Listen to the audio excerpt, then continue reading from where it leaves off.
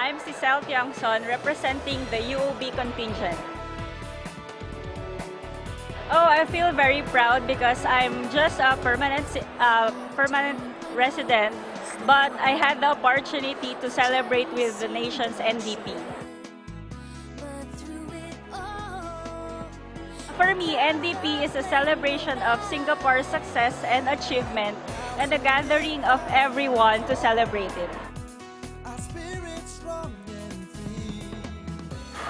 At first I was really hesitant to join because I was informed that uh, it would take all my Saturdays until the 9th of August. But when I after I attended the first rehearsal, I I am always looking forward to the rehearsals during Saturdays.